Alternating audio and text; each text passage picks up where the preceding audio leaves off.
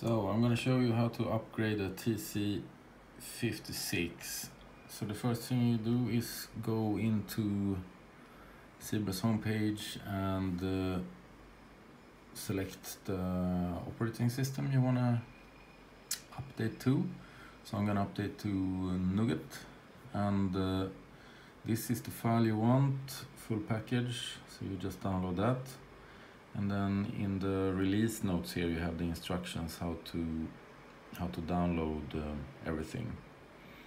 Um, so you'll need an SD card for this. I tried with this uh, 128 gigabytes and it did not work so probably it's too big. Um, so what you do is that you um, put the SD card in your computer. When you've downloaded the the files, you copy that to the SD card and uh, then you remove the SD card and you flip the TC56 over and then you have this slot here and you open the, the SD card slot like that and you put the SD card. This is hard to do with one hand that. Hmm, almost. Let's see. Something like that. You put the lid back on. Like that. And battery. And now you want to push the power button and the left we call it the PPT button and then you release that one.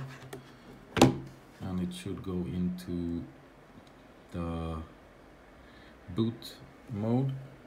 So here you have you see the options here. Uh, apply update with SD card. So you use the volume rocker down here and push down to jump down one step and then another step. And then you push the power button to select Oh, sorry.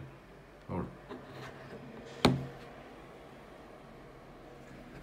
Okay, let's push another button at the same time. So let's uh, push the power button only. Okay, and then you scroll down to the file here. So we have the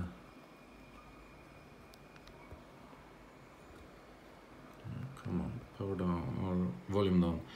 So here is the, the file that I want to run and now all you have to do is push the power button and the installation will, uh, will start and upgrade your operating system to Android 7. So now the installation process has started here and it's verifying the update package and I'll get back when it's finished.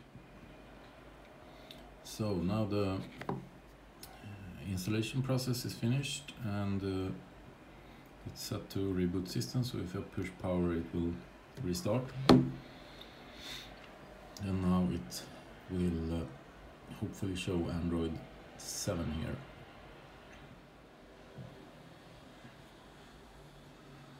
So here is the device when it's updated. Let's see here. So now we have Android 7.1.2. Perfect, thanks.